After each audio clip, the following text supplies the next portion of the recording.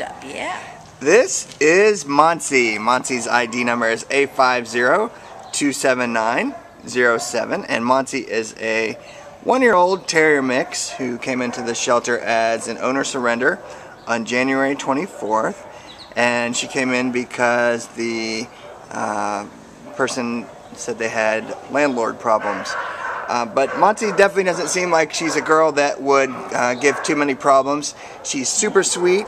She's 8.2 pounds, so she's no no giant, um, but she's uh, really a, a, sweet little girl. Um, she is uh, scared of the shelter environment. We know that once she gets out of here and into a permanent home, she's going to open up a lot. Um, she did have a kennel mate. She seemed like she got along well with uh, her kennel mate.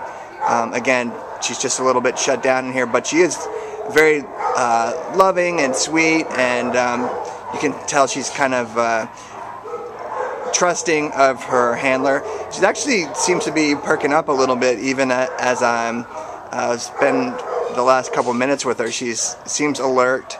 Um, she's looking curious. around, curious, seeing what's going on. Um, it's kind of chilly out today, so she's a little cold as well.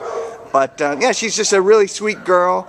Um, would definitely flourish outside of the shelter environment. And uh, she looks kind of like she's ready to go. She will go explore and check things out and, and see what's going on. Uh, what else can you tell us about Monty?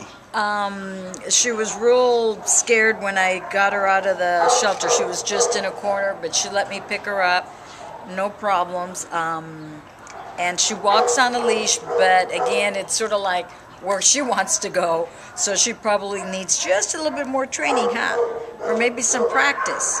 Yeah. And definitely walking around with somebody that she trusts and just build that relationship. She's young, so um, you're going to have a long time with her to bond. Um, she looks like she can be a, uh, just a go anywhere kind of girl. So really, really sweet. And oh, look at you. You're so sweet. She is adorable. Uh, so come on down, meet Monty. She is at the Baldwin Park Shelter, and she's ready to go home today. So she'll be here waiting for you. Right? Good girl. So cute.